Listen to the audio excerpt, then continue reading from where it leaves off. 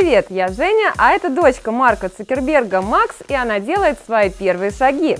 Исторический момент жизни Максы Марковны счастливый отец снял на камеру 360 и показал всему миру.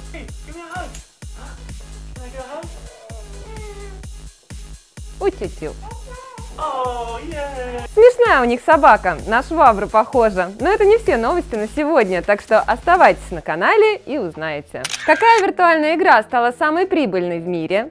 Зачем японцам виртуальная жена, а неугомонному Марку Цукербергу виртуальный дворецкий? Марк сегодня в топе новостей. Сначала дочку прославил, но о себе тоже не забыл. В общем, глава Facebook так обленился, что разработал себе виртуального дворецкого – Теперь некий Джарвис включает ему дома свет и готовит тосты. На разработку Джарвиса ушел почти год. В итоге виртуальный помощник умеет управлять климатом в доме, включать электроприборы, готовить тосты и даже подбирать музыку и разговаривать. Джарвис, включи какую-нибудь хорошую песню Никельбэк. Я не могу. У Никельбэк нет хороших песен.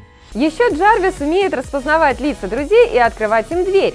Виртуальная система работает практически бесперебойно, но иногда все-таки лагает. Так что бабулю в гости лучше не звать, точно подумает, что в доме завелся полтергейст. Виртуальным помощником скоро обзаведутся и японцы. Здесь создали идеальную виртуальную жену-голограмму. Она сидит в стеклянной банке, ждет вас с работы, разговаривает приятным голосом, но при этом не пилит мозги и не требует зарплаты. В общем, не женщина, а мечта. Зовут ее Азума Хикари, и она любит пончики, кофе и хозяина.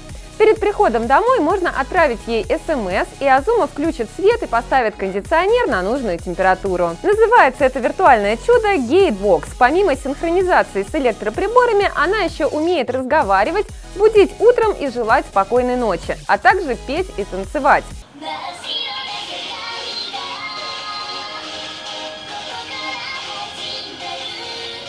Услуги интимного характера голограмма не оказывает.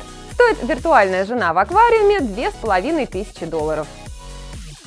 Так что лучше пойти и познакомиться с реальной женой, тем более есть где. В том же Токио открылся виртуальный парк развлечений, где японская молодежь зависает теперь часами напролет. VR-парк Токио расположился в самом модном районе столицы Шибуя.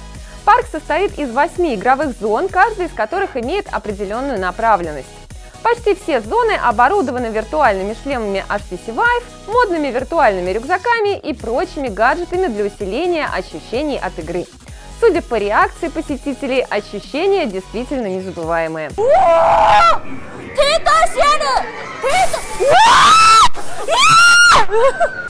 Стоит 70 минут виртуальной игры где-то две с половиной тысячи рублей, а в нашем клубе в Москве всего полторы. Поэтому выгоднее прийти к нам, тем более до Токио ехать очень далеко.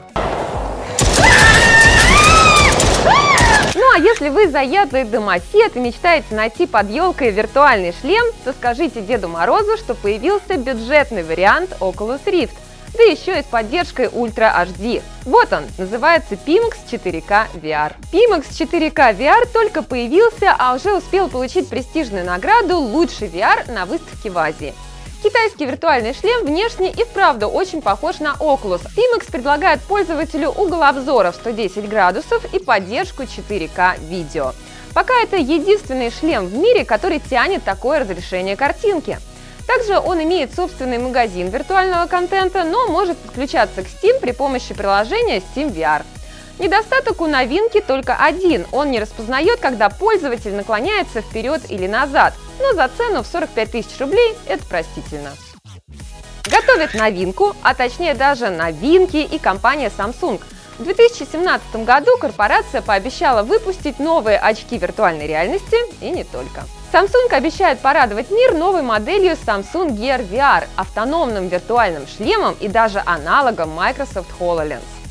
Компания хочет создать гаджет с функцией дополненной реальности и голограммами. Более подробно о своих планах Samsung расскажет на выставке CES 2017, которая пройдет в Лас-Вегасе с 5 по 8 января 2017 года. Ну а пока будем ждать и надеяться, что компания уволила всех рукопопов и новые девайсы не будут взрываться, как это уже было с несчастными Galaxy Note 7. I have a charger. I have Note 7. Uh. Ну а сейчас музыкальная пауза. Общем, если вы также играете на гитаре, а душа просит творчества, не расстраивайтесь. Новое приложение Rock Band VR исправит положение. Вас хотя бы не выгонят из дома. Студия Harmonix адаптировала популярную игру под виртуальную реальность. Теперь обладатели контроллеров Oculus Touch могут лобать на гитаре сколько влезет, без ущерба для психики окружающих.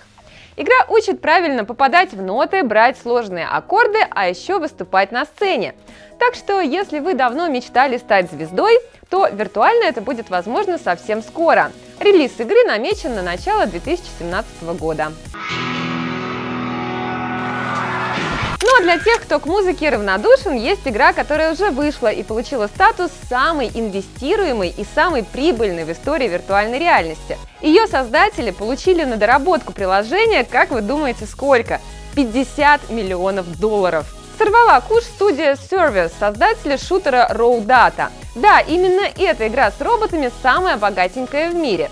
Среди инвесторов шутера даже затесалась компания Metro Golden Mayer, ну та, у которой лев вылезает из логотипа. Будем надеяться, что разработчики не спустят деньги в казино, а сделают свое детище еще лучше. Хотя оно и сейчас очень даже ничего и уже принесло студии миллион долларов только в первый месяц релиза.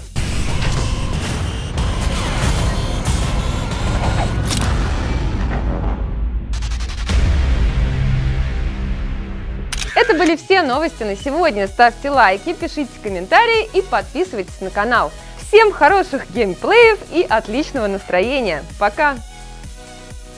Хочешь быть в курсе всех новинок в сфере виртуальной реальности и видеоигр? Кликай вот сюда и смотри больше интересных выпусков новостей от 3DVR.